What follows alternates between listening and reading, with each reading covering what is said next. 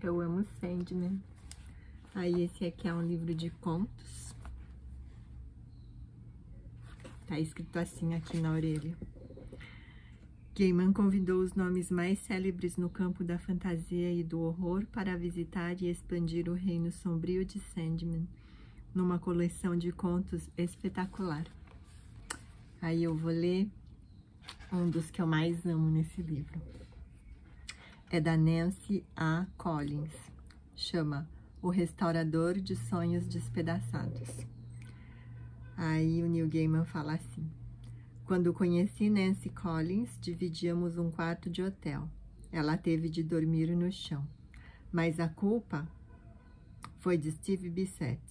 Eu conto essa história no prólogo da antologia de Nancy, Nameless Sins, portanto, você não vai lê-la novamente aqui. Neste conto, ela nos mostra um pouco mais do cenário obscuro do sonhar. Eu sou o restaurador de sonhos despedaçados. Esta é a minha profissão, minha vocação, se, se assim você preferir. Começo todos os dias caminhando pelos longos corredores do castelo, subindo escadas que se espiralam e serpenteiam, como os tentáculos de um polvo. Todos os dias, os corredores estão diferentes, as escadas levam a direções diferentes, e as obras de arte e a mobília que compõem a decoração das alas nunca são as mesmas. Há dias em que a porta que dá para o departamento de restauração parece uma abóboda antiga. Algumas vezes ela lembra a goela do bocejo ou da risada de um palhaço de parque de diversões. Em outras, fica retorcida e deformada como um portal oscilante saído de um filme expressionista alemão. O departamento de restauração é sempre imenso, isso nunca muda muito. Há milhares e milhares de prateleiras altas que se prolongam até o teto, tornando-se indistintas. Cada uma delas é dividida em cubículos de tamanhos e formas variados. variados. Cada cubículo é cuidadosamente etiquetado e marcado de acordo com algum sistema arcano de arquivo, criado quando o homem catava lêndias em seus vizinhos. E cada cubículo, cuidadosamente rotulado, contém uma caixa com os restos de um sonho. O meu trabalho consiste em consertar os sonhos, ou caso isso se prove impossível, adaptá-los para que possam voltar a funcionar. É uma tarefa sem fim, mas imensamente gratificante a nível pessoal. Amo meu trabalho. É um desafio diário, tanto artística como intelectualmente. Lido com cada caso com dedicação e interesse extremos. O conserto e a restauração de algo tão delicado e efêmero quanto um sonho é algo que apenas um verdadeiro mestre artesão poderia realizar. E ainda que eu ruborize ao me vangloriar, não gosto de falsa modéstia. Em poucas palavras, sou o melhor que há em minha arte. Meu auxiliar, Crow, está me esperando chegar, como sempre. Assim como muitos dos criados de Lord Morpheus, ele não é nativo do sonhar, mas um emissário de um dos muitos reinos do mito. Crow afirma ser um príncipe de Nibelheim, a terra dos duendes, mas devido aos seus cabelos alaranjados e emaranhados, barriguinha arredondada e feições grosseiras, parece mais um troll do que um duende. Eu tiro meu sobretudo e o penduro dobrado nas costas da cadeira entalhada, para parecer um macaco voador. Bom dia, Crow. Bom dia, chefe. Aqui está o programa das atividades de hoje. Ele anuncia com o chiado típico da sua voz de baixo profundo ao me entregar uma folha contendo informações impressas no computador. Dou uma olhada nas colunas de números em série, meneando a cabeça afirmativamente. Parece que teremos um dia bastante agitado pela frente. Sorte nossa, resmunga Crow, indo até o carrinho motorizado que usa para atravessar os corredores entre as estantes labirínticas. Para ajudá-lo a alcançar as prateleiras mais altas, o carrinho possui um, um apanhador de cerejas. Não sei há quanto tempo Crow atua no departamento de restauração, mas eu arriscaria um palpite de que ele trabalhe aqui há uma vida toda, ou duas. De vez em quando, ele se distrai dos afazeres e faz referências ao meu predecessor, o restaurador anterior. Enquanto Crow liga o carrinho de resgate, eu destranco o enorme armário que fica atrás da minha bancada e retiro meus instrumentos de trabalho.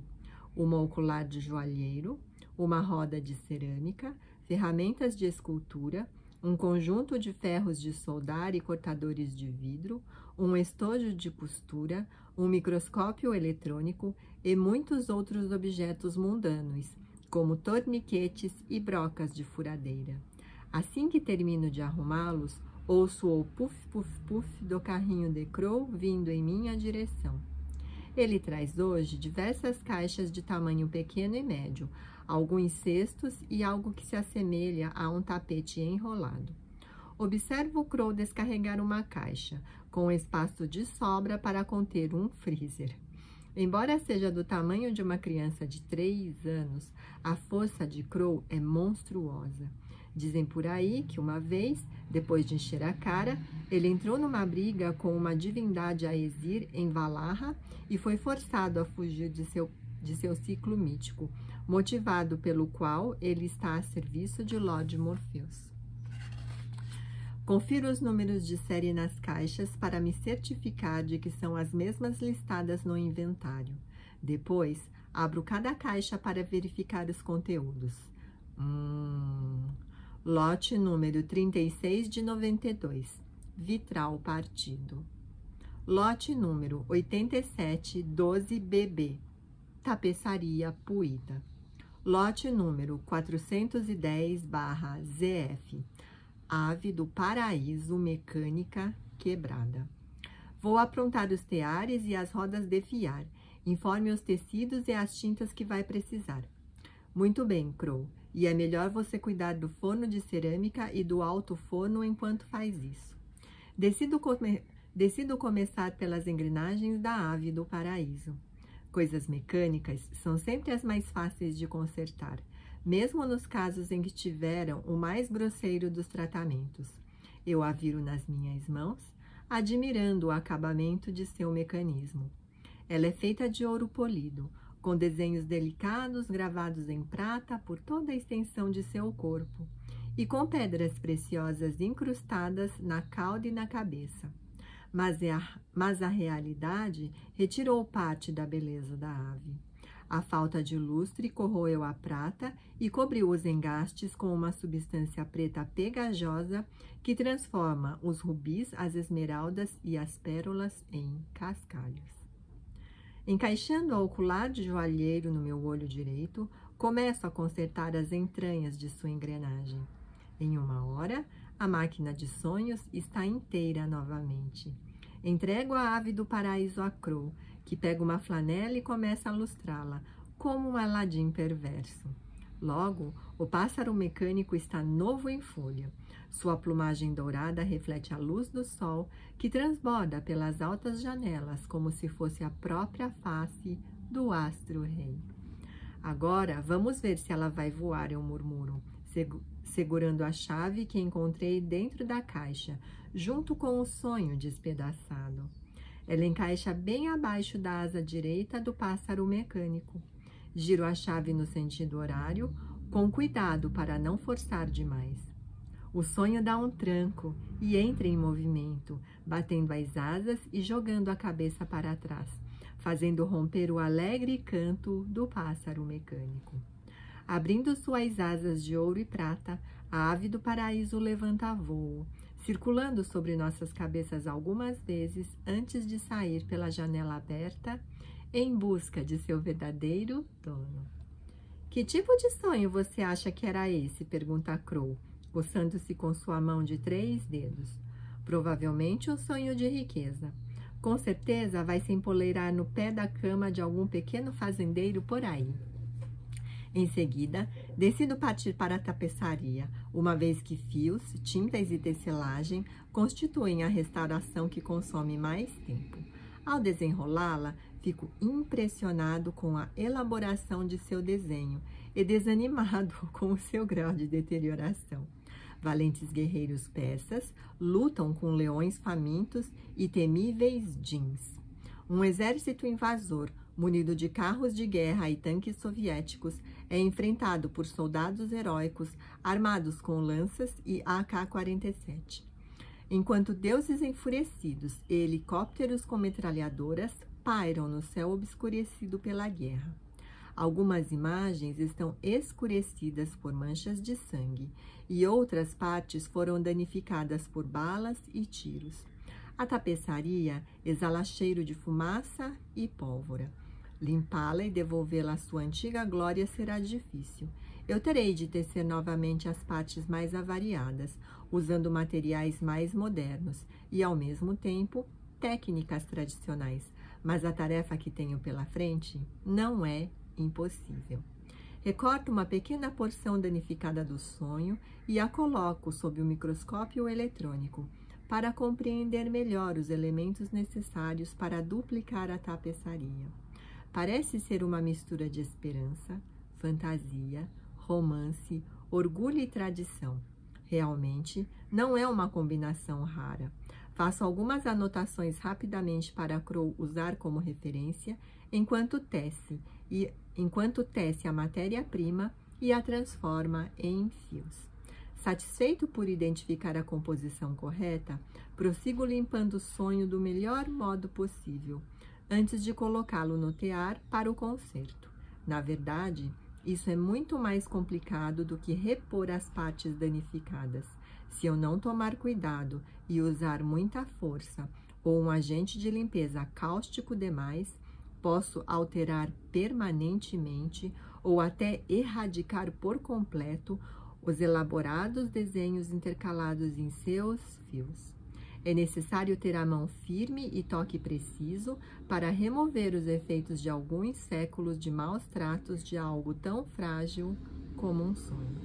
Quando o Crow acaba de tecer a matéria-prima, produzindo fios finos e tingindo-os da cor apropriada, eu já acabei de limpar o sonho e o coloquei no tear manual.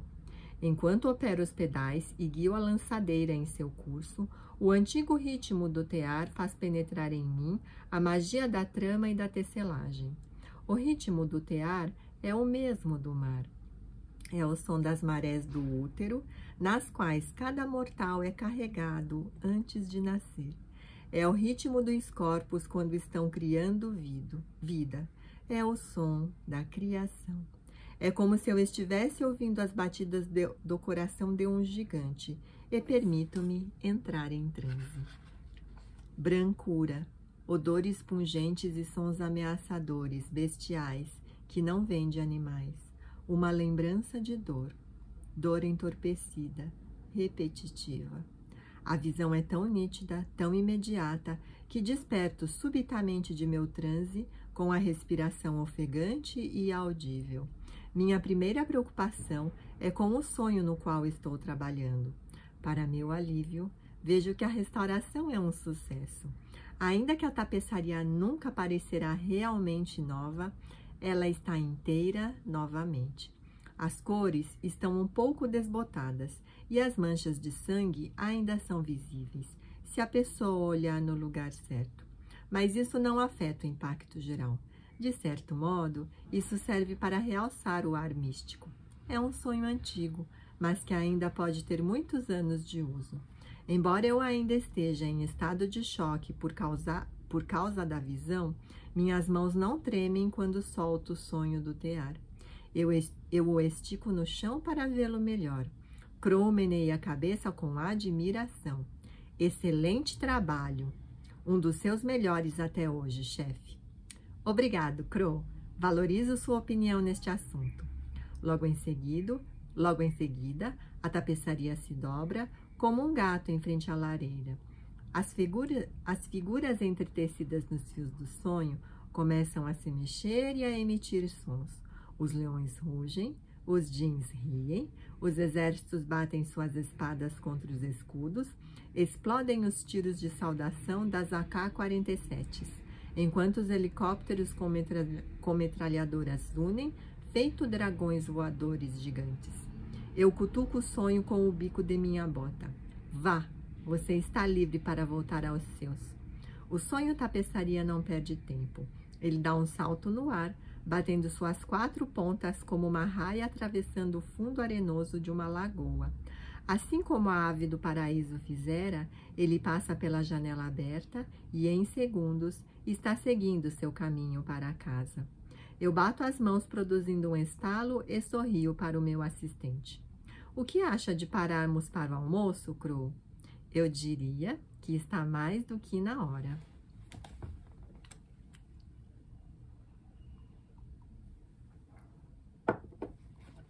Eu gosto de almoçar no assento da janela, olhando para o extraordinário jardim lá fora. O jardim, assim como todas as outras coisas no palácio de Lord Morpheus, muda de um dia para o outro. Às vezes, ele é um jardim japonês para meditação, completo, com desenhos elaborados feitos na areia. Outras vezes, é um jardim campestre inglês.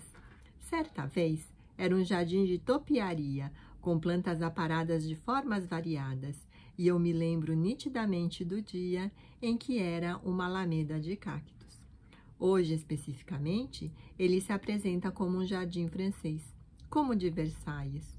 Olho para a grama caprichosamente tratada e as árvores e, as árvores e arbustos floridos alinhados, enquanto como o que trouxe na marmita as fragrâncias mescladas de flores de laranja e de cereja, de roseiras e madressilva em flor, são toques agradáveis no meu olfato, encobrindo o cheiro de excremento humano que a minha visão havia presenciado de forma tão viva. Enquanto bebo o chá gelado que trouxe na garrafa térmica, percebo um movimento no canto, no canto do meu campo de visão, algo escuro e pálido ao mesmo tempo. Sem pensar, Viro a cabeça para olhar. Eu os vejo, um homem e uma mulher, ambos vestidos com roupas negras como espaço entre as estrelas e com a pele branca como alabastro. O homem é alto, esquálido, quase de forma exagerada, vestindo uma longa capa. Seu cabelo é escuro e desgrenhado, como se tivesse acabado de sair da cama.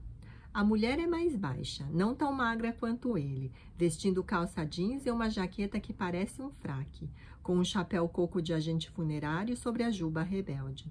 Ela está falando, rindo, batendo palmas para alguma piada. O homem parece preocupado. Suas feições são melancólicas. Embora não o conheça, há uma familiaridade persistente em suas feições. Com um susto, percebo de repente para quem estou olhando? É ele. Depois de todo esse tempo, passaram-se anos, décadas. Não consigo me lembrar exatamente quando me tornei o restaurador. Estou finalmente olhando para o rosto de meu mestre, o Senhor da Noite em pessoa, Morpheus, aquele que é conhecido pelos mortais como Sonho. E se ele é o senhor dos sonhos, deduzo que a mulher ao seu lado deve ser sua irmã mais velha, a morte. Enquanto ainda estou entretido nesses pensamentos, a mulher pálida desvia o olhar de seu irmão. Vejo de relance seu sorriso e o sinal do Anki que marca seu olho direito. Ainda que não tenha como saber que estou sentado aqui, olhando-a, ela sorri em minha direção. Ela é linda. Possivelmente a coisa mais bonita que já vi ou verei.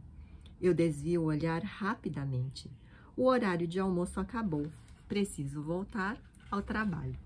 Abro o lote seguinte. Desta vez, o sonho tem a forma de um vaso Ming despedaçado, decorado com tormentosos dragões celestiais e morcegos da sorte tão estilizados que lembram flores exóticas em vez de animais. Tento me concentrar no trabalho que tenho à mão, arrumando os pedaços e misturando o fixador necessário para colá-los de volta. Mas não consigo afastar a imagem da morte olhando para mim e sorrindo, como se eu fosse um velho amigo com quem ela quisesse muito bater um papo. Por sorte, o vaso sonho quebrado não é difícil de reparar. Percebo que minha mente está vagando enquanto grudo os cacos de volta meticulosamente, com um pincel feito com os cílios de um camelo recém-nascido. Não pela primeira vez, pergunto-me de onde venho e para onde vou todos os dias. Quando me dou conta de onde estou no início do dia, já me encontro dentro dos limites do palácio. E no que diz respeito às minhas lembranças, no momento em que piso a soleira do departamento de restauração no fim do dia, tudo se apaga. Deveria ser capaz de lembrar se vou para casa, se relaxo tomando uma cerveja ou se conto à minha esposa como foi o meu dia. No entanto, não sei sequer se tenho uma casa para onde retornar, muito menos uma esposa. Consigo lembrar muito bem do que se revela entre as paredes do palácio, mas todo o resto permanece como uma névoa cinza e amorfa.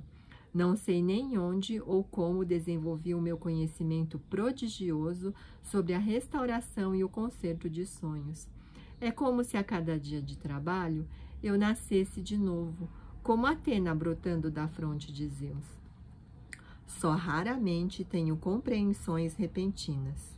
Não, hesito em chamá-las assim. Visões é uma palavra melhor. Visões como a que tive anteriormente. Elas são sempre breves, sempre confusas e parecem trazer dor. Talvez eu esteja melhor sem saber de nada. É o que vivo me dizendo mas na verdade não acredito. O resto do dia passa de forma confusa. Conserto vaso sonho sem transtornos. Ainda que meu coração não esteja presente, ponho-me a reparar um sonho na forma do vitral de uma janela medieval, mostrando o martírio de São Sebastião. O rosto, do, o rosto do santo foi corroído por forças humanas e naturais, que deixaram suas feições indistintas. Por mais que tente, não consigo reproduzir as feições originais do santo. Então, eu a substituo pelas de um jovem ator que morreu na rua. Esteticamente funciona. Fico surpreso quando as luzes se apagam, piscando como uma coruja diante da forte luz do dia. Crow está lá, com seu pequeno casaco verde de feltro dobrado sobre o braço, observa-me com estranheza. Hora de parar, chefe. Ah, sim, claro. Levanto-me devagar, como um velho que pressente nos ossos a chegada do inverno. Croa ainda está me olhando, sobrancelhas franzidas. Chefe, você está bem? Você parecia, sei lá, um pouco preocupado hoje. Será que está ficando doente? Não, estou bem, Crow. Só estava pensando. Crow enfia seus pequenos braços musculosos nas mangas do casaco, tira o boné do bolso e o coloca na cabeça. Na minha opinião, isso só serve para trazer problemas.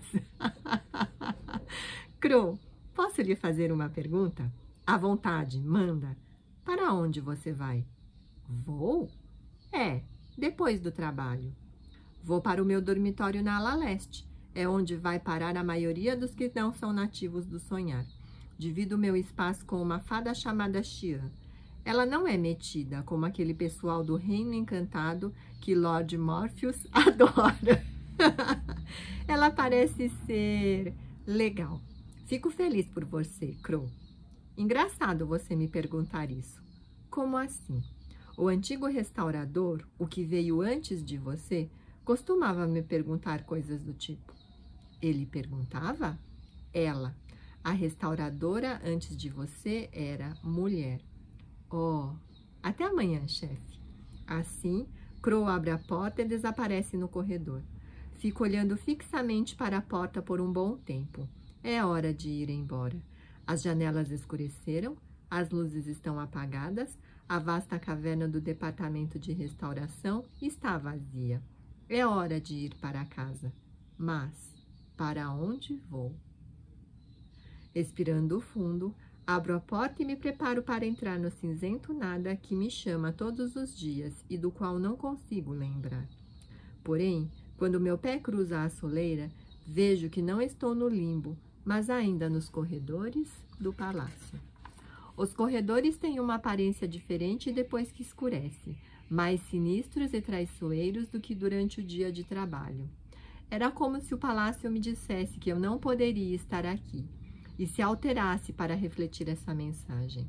Embora o meu trabalho neste local seja tão antigo quanto a minha memória, raramente me extraviei para fora do departamento de, de restauração. Sei que há inúmeros outros serviços prestados ao Rei dos Sonhos, porque Crow gosta de contar fofocas sobre o palácio.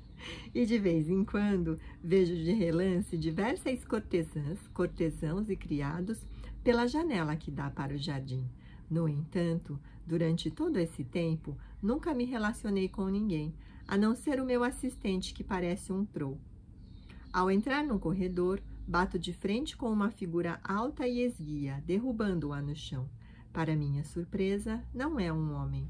É um espantalho vivo, com membros feitos de madeira e enfiado numa, num macacão largo.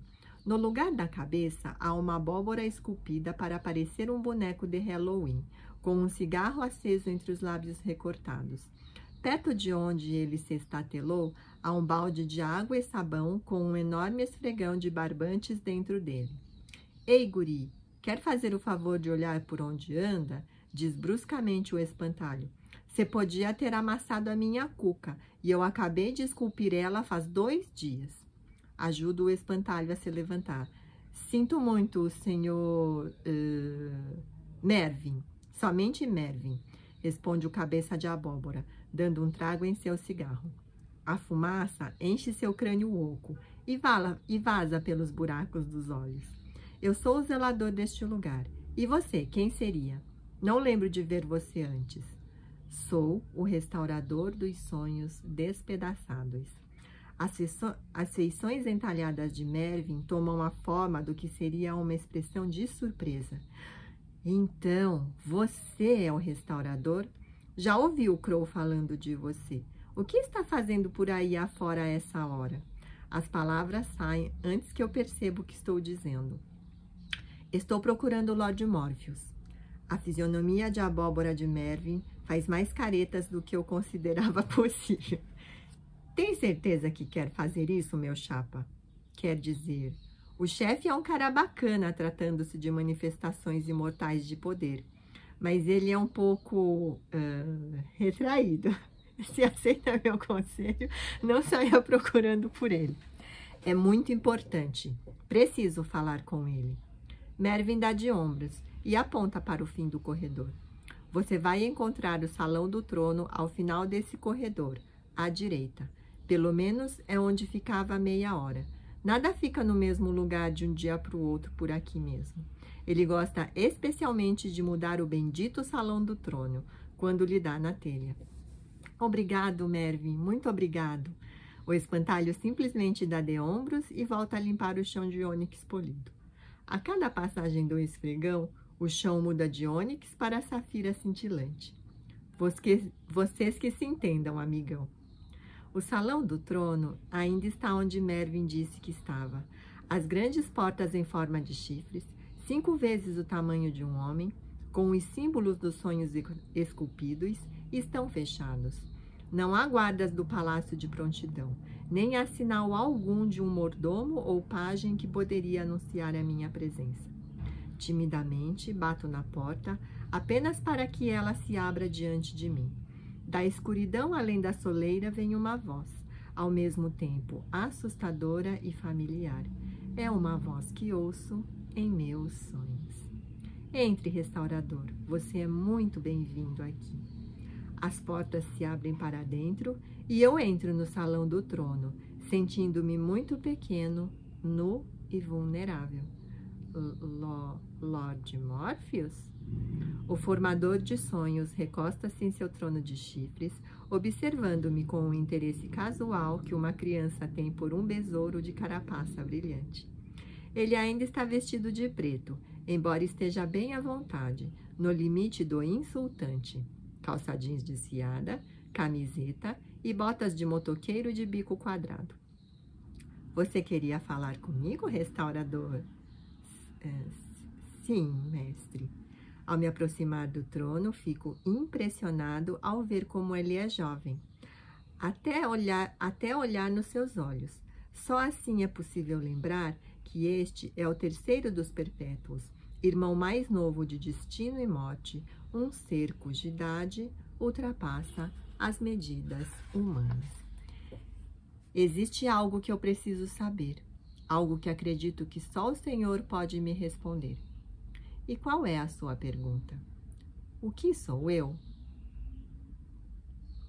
O mais sutil dos sorrisos toca os lábios do formador de sonhos. Você tem me servido bem, restaurador. Sua habilidade em consertar até mesmo o mais maltratado e sujo dos elementos do sonho é espantosa também para mim. Seu trabalho me agrada e por isso conceder-lhe-ei um privilégio e responderei sua pergunta. Obrigado, mestre. Morpheus levanta-se do trono, as sombras caem sobre seus ombros, formando uma capa. Não seja tão rápido com seus agradecimentos, restaurador. Ele suspira. Venha, siga-me. Juntos andamos por um corredor longo e escuro, em direção a uma luz distante. Embora Morpheus tenha uma estrutura esguia, ele irradia a imagem de um monarca seguro de seu poder. Ele olha para mim. Seus olhos profundos são impenetráveis. Antes que eu responda a sua pergunta, há uma que eu gostaria de fazer. O que você pensa que é restaurador? Como eu nunca consigo lembrar de onde venho e aonde vou ao final do meu dia de trabalho, acho que devo ser algum tipo de sonho. Estou certo? Muito astuto, restaurador. Você está correto. Isso lhe incomoda? O quê? Ser um sonho. Isso lhe incomoda? Eu franzo a sobrancelha, esfrego o queixo. Não sei. Acho que eu deveria ser. Quer dizer, se eu sou um sonho, isso quer dizer que não sou real, certo? Morpheus ri me assustando. Quando ele ri, seus olhos quase disfarçam a sua idade. Meu caro restaurador, com certeza você, mais do que ninguém, sabe que os sonhos possuem uma realidade toda própria. Em muitos casos, eles são muito mais substanciais do que os próprios sonhadores. Ele aponta para uma parede com seu dedo branco feito de giz e a ondula como água. Cada ser humano que nasce possui as chaves do meu reino. Para muitos, o sonhar é apenas um lugar para fugir às pressões de um ser mortal. Para diversos poetas e loucos, ele é a terra dos presságios, dos sinais e da inspiração. Mas para outros, é o lugar onde a verdadeira felicidade pode ser encontrada. Onde mendigos onde mendigos andam como reis, os rejeitados encontram o amor e os famintos o banquete. A parede ondulada se estabiliza, transforma-se num espelho. Nele, um homem heroicamente musculoso, vestindo uma tanga, retalha um dragão de três cabeças. O valente guerreiro que você vê é um analista de sistemas de Passaic, Nova Jersey, Morpheus me informa. Ele estala os dedos e o bitolado bandi, o bi, ele estala os dedos e o bitolado, brandindo a espada, é substituído por uma visão de Marilyn Monroe, como em Diamonds a, a Girl's Best Friend. Ela está cercada por um esquadrão de homens jovens e afoitos, trajando apenas luvas, luvas brancas e gravatas borboleta, cada um carregado com buquês, estojos de joias, caixas de chocolate em formato de coração e ereções sólidas como uma pedra. Melly joga beijinhos e pisca, satisfeita diante de tais provas de desejo e adoração. Este sonhador é um transexual não operado de Dallas, Texas. Há milhões e milhões de outras sequências de sonhos como essas que eu poderia lhe mostrar. Todas iguais, todas diferentes. Mas de todos esses bilhões de sonhadores, poucos tiveram sonhos substanciais o bastante para tornarem-se parte da equipe de meu palácio. Você compreende o que estou lhe dizendo, restaurador? Sinto ondas de orgulho e ansiedade crescerem dentro de mim. Ah, acho que sim, mestre. Morpheus aponta para a luz no, ao final do corredor, agora desconfortavelmente próximo. O sonho gostaria de ver o sonhador? Tenho o poder de entrar no mundo desperto quando e onde eu desejar. Passamos do sonhar para o mundo desperto lado a lado, como se transpor barreiras dimensionais fosse tão simples quanto ir ao quintal de casa. E acho que para ele deve ser assim mesmo. Brancura. Minha visão anterior volta rapidamente para me assombrar, enchendo meus olhos com um clarão branco, congestionando o nariz com o cheiro de urina e fezes. Instintivamente cubro meu rosto. Suavemente, Lord Morpheus segura as minhas mãos, tirando-as do meu rosto. A brancura cegante pisca como um estroboscópio e depois desaparece aos poucos. Quando me dou conta, olho fixamente para as paredes do que é obviamente alguma instituição, iluminada por uma lâmpada protegida por uma gaiola de metal. O cheiro de mijo e merda vem da cama estreita junto à parede. Em cima, encolhido sobre si mesmo como um feto gigante, está um humano. Morpheus não diz nada enquanto eu me aproximo da cama, examinando a criatura deitada no colchão. Parece ser um homem. Não, um menino. Nu, exceto por uma fralda de adulto. O cabelo loiro está sujo e raspado, dolorosamente rente. Percebo que os pulsos e os tornozelos do menino adormecido estão presos à cama com cordas feitas de lençóis rasgados. Também noto os hematomas ao longo de sua coluna vertebral e as feridas, crostas e caroços na parte de trás da cabeça. Por que ele está amarrado? Ele é indiferente àqueles que estão ao seu redor. Não reage à dor, nem sabe reconhecer perigo real. Quando está consciente, possui uma tendência a fazer movimentos repetitivos, como, por exemplo, bater a cabeça na parede. As amarras são para protegê-lo e por conveniência da equipe de enfermeiros. O menino é autista. Diz Morpheus com uma voz suave e triste. Algo aconteceu a ele quando estava se formando no útero de sua mãe. Isso afetou seu cerebelo e o sistema límbico, isolando-o de forma efetiva da realidade. Desde o momento do nascimento, vive em um mundo construído por ele mesmo. Quer dizer que ele nunca esteve acordado? Quero dizer que o sonhar e o mundo desperto são um único mundo para ele. Ele nasceu nos sonhos e nele morrerá. Mas os sonhos produzidos por um por tal mortal não são os mesmos de um mortal comum. Seus sonhos são muito mais potentes muito mais reais. Todos os restauradores que já serviram a mim nasceram de sonhadores semelhantes. A restauradora que o antecedeu era uma senhora de idade que sofria de mal de Alzheimer. Não sei o porquê, mas os sonhos de mentes danificadas possuem um grande talento para consertar aquilo que foi quebrado. Balanço minha cabeça confuso. Não consigo entender. Uma parte de mim simplesmente não quer aceitar. É isso que eu sou realmente? Um idiota incontinente trancado dentro, da minha dentro de sua própria mente? Meu caro restaurador, você deveria perguntar se você é o que ele realmente é. Não há cura para ele, então? Eu faço um movimento para tocar a cabeça do menino em repouso, mas Morpheus segura minha mão. Seu toque é frio, mas não de um modo desconfortável. Não, não nesta vida. A menos que um cientista, em algum lugar do mundo fora deste quarto horroroso, tenha a força e a inspiração para fazer um sonho se tornar realidade. Venha, vamos embora. Você já viu bastante. Enquanto retornamos no Enquanto retornamos ao portal sombriamente brilhante no meio da parede, percebo que os olhos do meu sonhador nos acompanham por trás das pálpebras fechadas. Eu sou o restaurador de sonhos despedaçados.